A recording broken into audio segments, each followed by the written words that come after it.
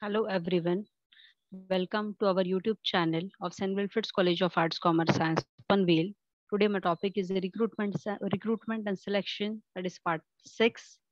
And the sub subtopic on which we'll be discussing today is soft skills in HRM. Now, what is soft skills? Soft skills are a cluster of productive personality traits that are characterized one's relationship in social environment Yes, the skills can include social graces, communication abilities, language skills, personal habits, cognitive or emotional empathy, time management, teamwork, and leadership traits. See, an employee's soft skills could be seen through the various factors.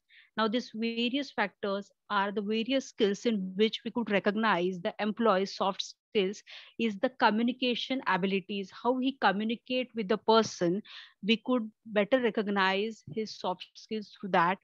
With the language with the accent he use while, while speaking the personal habits how the habit of entering into a room or the habit of asking someone for anything the way he asks his personal habits how he behave through that also we could properly recognize the person's soft skills cognitive and emotional empathy the time management how the employee does and time management uh, of the work teamwork and leadership traits. To develop our communication skills you can read books or take training courses on soft skills like negotiation and persuasion critical listening empathy and conflict management. Yes see how the communication skills the employee can develop it by reading the books or taking the training courses of the soft skills and all personality development and all these kind of the trainings the employee can take and could enhance his knowledge could enhance his skills soft skills. So these are the ways the employee can do it. Now why are soft skills important? See we have spoken about now what is soft skills what is soft skills. Now we are moving with why soft skills are important. Yes, to identify employees who are not just able to do the job, but they also able to do it well. Yes, through soft skills, we could recognize, we could identify the employees that they are not just doing their job. Yes, just uh, we need to do it a job and without any efforts, without any extra efforts or without any smartness in the work they are doing the job. So we could properly recognize the employee. The person who is doing the job just for the sake of the money or all or the person who is doing it very well. The person who is doing it in a very successful way could recognize that. For example an employee with a good time management skills know how to prioritize tasks to meet deadlines. Next choose between qualified candidates who meet the typical requirements of the job. Yes, we can choose the best qualified candidates who meet the typical requirement of the job.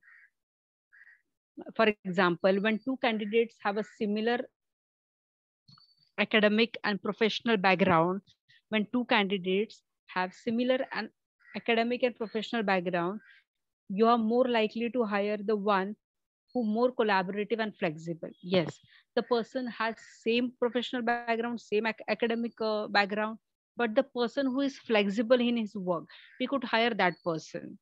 Hire for potential not just knowledge. Yes. Just the person has the knowledge so the person can also have a bookish knowledge. So that is not uh, theoretical knowledge. That is not too used in the work.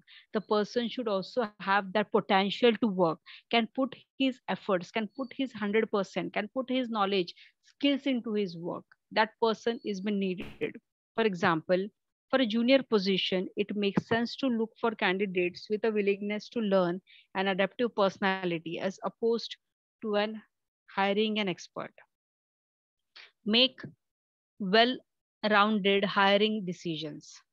For example, when hiring a salesperson, you want to find a candidate who's familiar with the industry and the experience in sales. Yes, of course, we will find a person who is familiar with the industry and familiar with the sales, but is also reticent, know how to negotiate and has excellent verbal communication skills. Of course, when we speak about a salesperson, of course, the second thing which stand behind a salesperson is communication skills. Sales is nothing without communication. When the person is ready to speak, the person is ready to negotiate the thing. When the person goes for bargaining, when the person goes for uh, products, knowledge and information giving to the another person, then only we could say, yes, the communication skills are very important in the sales. Evaluate candidates culture fit. Example, if you value accountability and you want to have employees who take initiative, it is important to look for candidates who are not afraid to take ownership of their jobs, who are decisive and have a problem solving aptitude. Yes. See, second thing that employees should not have the fear of taking an ownership of the job or those who are afraid of that that I would not take ownership, otherwise the burden would come on me alone. This type of employees should be, mm, we could uh, recognize this type of employees. Yes, so the employees should be decisive, should be decision makers and problem solvers. How can I develop these soft skills? How can I develop these soft skills? Yes, to improve to help improve your organizational skills and time management you should start by looking at your to-do list and ensuring you have a clear and structured list with the deadlines yes you should properly align your activities in short i could say you should properly plan and align your activities so that one by one which is with the priority which is important you could solve one by one and you could move further yes there are many online tools to help with your organization and time management skills. Yes, online tools are also available, which could go with the time management skills. A variety of training courses exist as well with making accessible online and local centers. To develop your communication skills, you can read books or take training courses on soft skills like negotiation, persuasion, critical listening, empathy, conflict management yes you can read these types of books to enhance your knowledge about the soft skills or else uh, you can go for the training courses yes this could enhance your knowledge skills such as confidentiality adaptability and problem solving tend to be attributes that you developed as you gain experience in your career. Yes as you see experience uh, your confidence doesn't come like that into it yes simply it doesn't come. Your confidence doesn't come very simply. You gain your confidence through the experience. The things you experience in your work the day by day you gain the confidence. As you leave the same industry and you go in the uh, uh other organization and you will be having the same profile job of course you will do with the same enthusiasm. The reason is you have that confidence of doing the job. You have that experience. You would never feel nervous about that job. Yes so that would be developed in you, but slowly, slowly with an experience. Team building activities can have a great impact on your ability to work well in team. It also helps to get the knowledge, your colleagues, to get to know your colleagues and res uh, respect one another.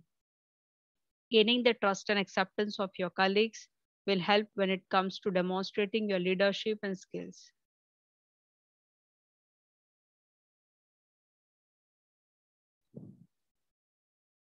Next, 15 soft skills example that are essential traits among employees. Yes, which are the communication. As we know, communication is very important, stands first after the soft skills part, teamwork, problem solving, time management, critical thinking, decision making, organizational, stress management, adaptability, conflict management, leadership, creativity, sourcefulness, persuasion, openness to criticism. criticism. So this are total 15 soft skills are the examples for essential traits and of the employees, among the employees. How do you assess soft skills in candidates? Now, how you can access this assess the soft skills in candidates? How you can do it? Know what you are looking for in potential hires beforehand and ask all candidates the same questions. Yes, one thing you can do if 15 candidates are standing in front of you, you can ask the same questions to each and every person. Now, from that, which person gives you a very specific answer, a very innovative answer, that two person you can recognize. Ask behavioral questions to learn how they are used soft skills in previous job. Now in previous job, what soft skills they have been used, according to that, you can ask the questions to them. Use hypothetical scenarios, games and activities that test specific abilities. Yes, use hypothetical scenarios, some you can uh, give some games. You can go for some activities that test the specific abilities. Pay attention to candidates answers and reactions during interviews. Yes you can pay attention to the candidates answers and reactions during interviews. Improve your hr soft skills if you want to keep up. Yes skill building is a lifelong process for any working professional whether you are just starting out your career or a seasonal HR seasoned HR manager, developing your skills will always be on an agenda. Yes, though you will be recruited as an HR executive, HR generalist, HR admin executive, HR recruiter, but your skills should be always on the developing stage. Yes, you should gain the skills and knowledge, the more experience through your job. So, what skills do you need for HR? Yes. So what skills do you need for HR? Time management, record keeping, communication skills are the name but a few.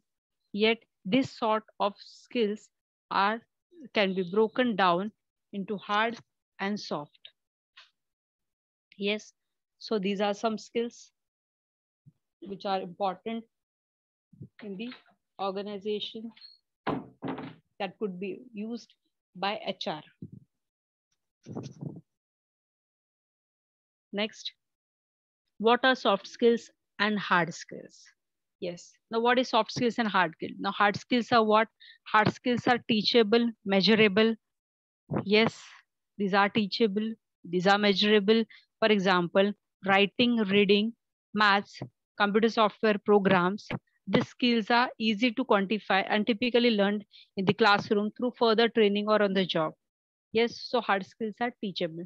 The soft skills are what? On the other hand, they're mix of personality traits, behaviors, and social attitudes.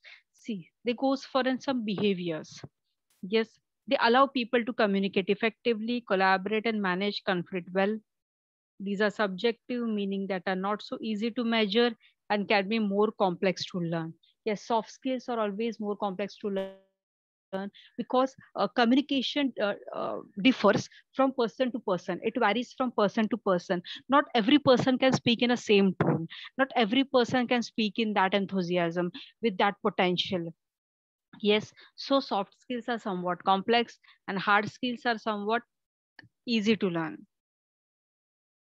How can you measure soft skills? How can you measure the soft skills assessment tools are self-assessment, self-reporting tools can be useful for predicting and indicating emotional intelligence.